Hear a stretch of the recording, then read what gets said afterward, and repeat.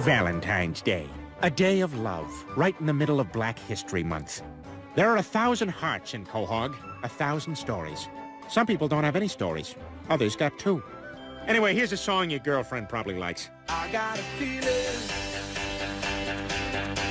that tonight's gonna be a good night. That tonight's gonna be a good night.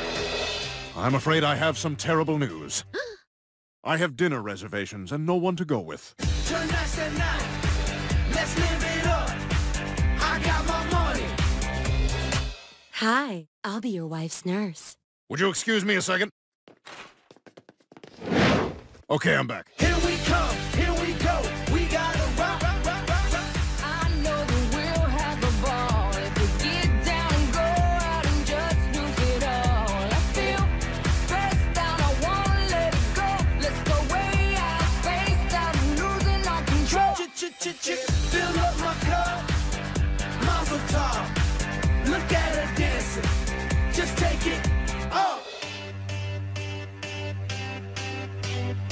Peter, are you ready for your Valentine's gift? No, but I'm ready for therapy.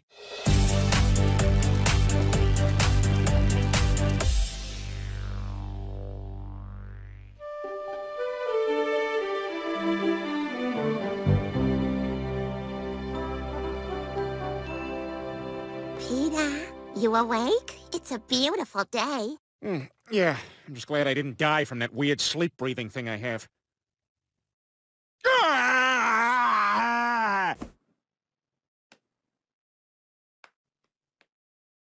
You know, Peter, since it's Valentine's Day, I was thinking, let's do something we've never done before. Release the virus? No, I was thinking we could spend the whole day in bed. Oh, that's a great idea. Permission to begin a day of epic lovemaking, sexy lady? Permission granted, sir. And if I need help, I'll just fantasize about that Victorian stripper.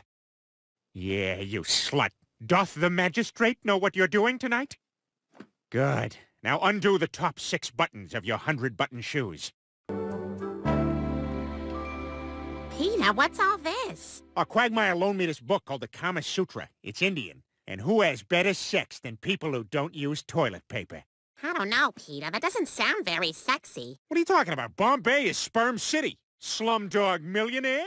More like scumdog put it there. Peter, these candles are getting wax all over the floor. That's okay. Isn't Consuela coming today? No, she spends Valentine's Day with her husband.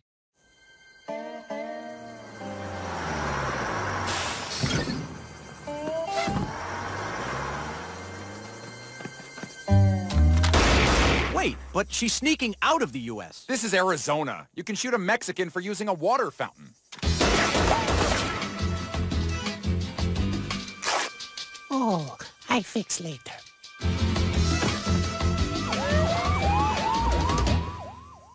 Happy Valentine Day Juan. And to you, mi amor. One minute. I freshen up first. Okay. See, see, see. Oh, yeah.